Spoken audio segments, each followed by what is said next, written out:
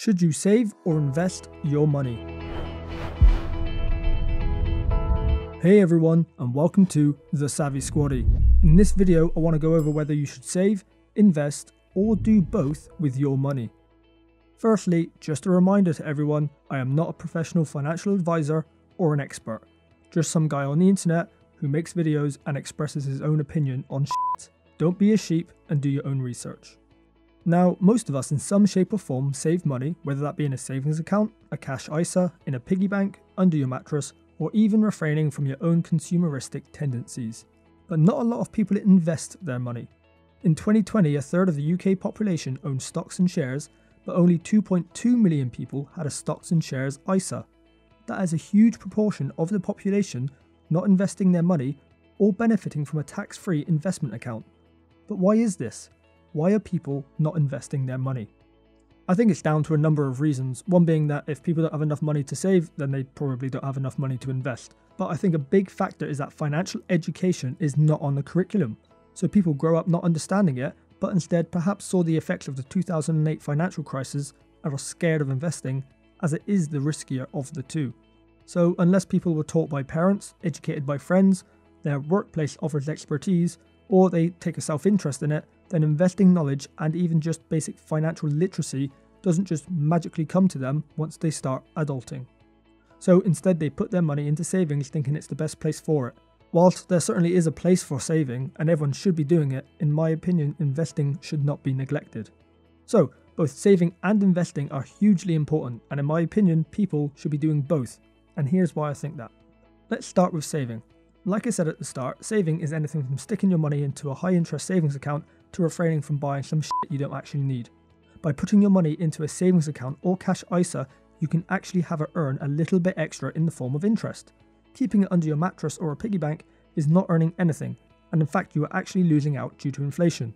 Even your money in a savings account that is earning interest is losing out to inflation because more often than not, the interest rates are not as high as the inflation rates.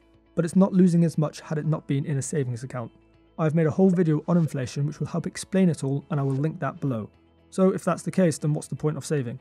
Well, I'm sure we've all been there where something has happened and we need some cash quickly. Perhaps the washing machine broke or the car needs new brake pads. Whatever it may be, it is much better to have the cash ready for these expenses than going into debt to pay for them, as you'll just lose more money in the long run to the interest payments on those loans. Perhaps you also want to save for a deposit on a house or even a well earned holiday. In all these cases and more, savings are necessary. The general consensus is to have an emergency fund with 3 to 6 months living expenses in, just in case something should happen, and this should be kept in a high interest savings account. It might lose out to inflation a little, but at least if you lost your job, you could survive for a number of months with no real change in lifestyle whilst you looked for a new job. A sink fund is also a good habit to have. This can be a savings account that is used for predictable large payments. Christmas, a wedding, car insurance, car service, a holiday, birthdays, etc. Things that are not emergencies but can still be large purchases. Having both a sink fund and an emergency fund will save you a great deal of stress and hassle and acts as protection against unexpected financial difficulties. I'm not going to go through a list of the top savings account as it changes frequently, so have a search for yourself and get the best deal. MoneySavingExpert.com is often a great source of information for this, I have also created a video explaining individual savings accounts, which I will link below and that'll be helpful too. Saving accounts are easy to open, they are low risk and the money is easily and quickly accessible, and even though inflation will erode your savings a little bit, they are still a necessity. A general rule of thumb is that if you need the money in less than 5 years, then save it. If not, then invest it. And this is because investing is a long term strategy as it is riskier than saving. But with risk comes reward. It just depends on your tolerance. Investing your money into assets is for long term financial growth and wealth.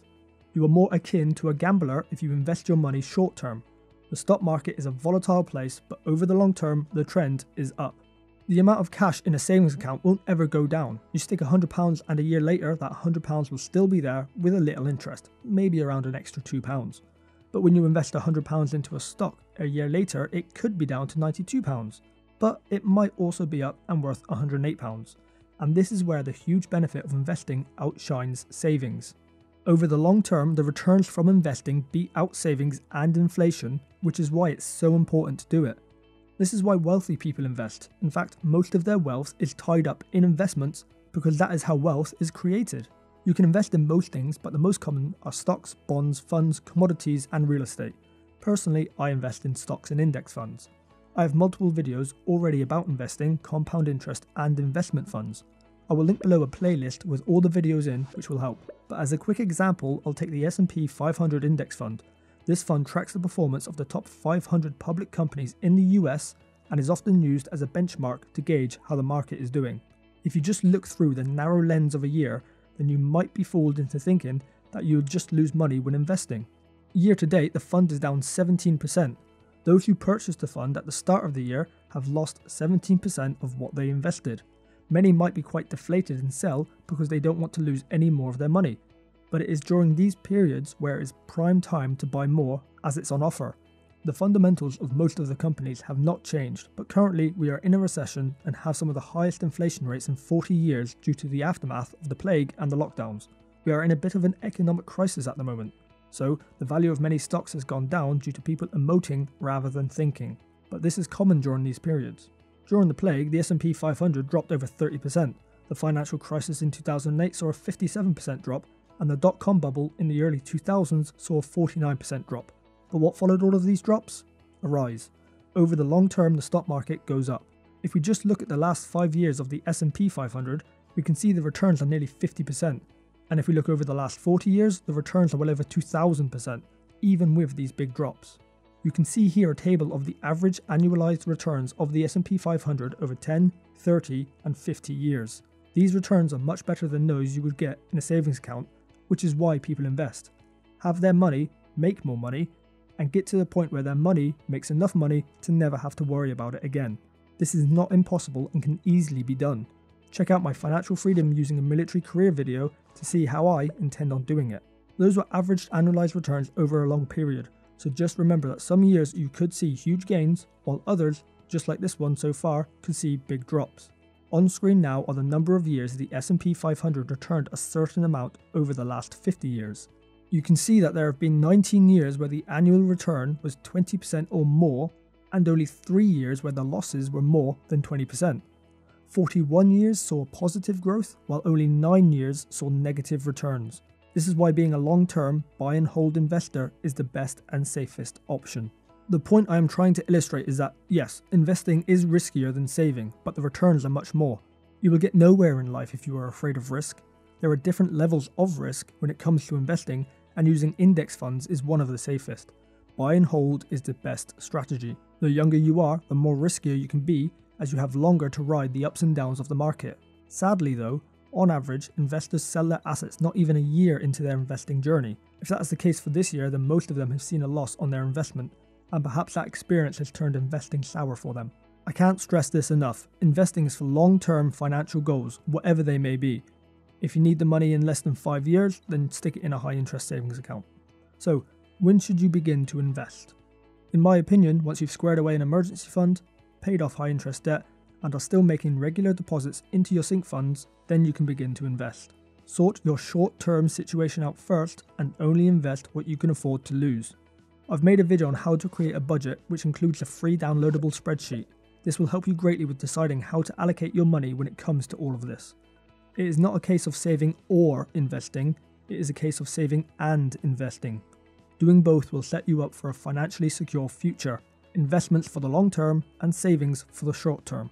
You need to set yourself clear goals and what you want to achieve. This will help a lot with how to allocate your money. Do you want an extra retirement fund, a deposit for a house, a holiday abroad, a new car? Is your wedding coming up?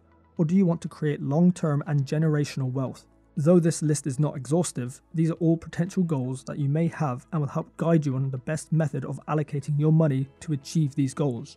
Or you can just spunk all your money away on needless consumerism and cry victim when you come to leave the forces or retirement as you come to realize you are financially f***ed and instead you'll have to continue to work well into your later life just to get by whilst blaming everyone and everything around you because taking personal responsibility for your actions is a thing of the past in this nation of victims. Hopefully, though, now you understand the importance of doing both saving and investing. State pension is not enough to sustain you in retirement, and the Armed Forces pension, whilst better than most, will get you by. But if you actually want to enjoy the remaining years of your life, you need to actually start taking action now to build an extra retirement income source so you can have the best retirement you possibly can. This is not done by saving alone. Are you one of the 33% of the population that invests, or are you thinking of starting? Let me know in the comments below. Thank you all for watching. If you liked what you just saw, please hit the subscribe button up there. And if you want to see some more videos, click over there. See you soon.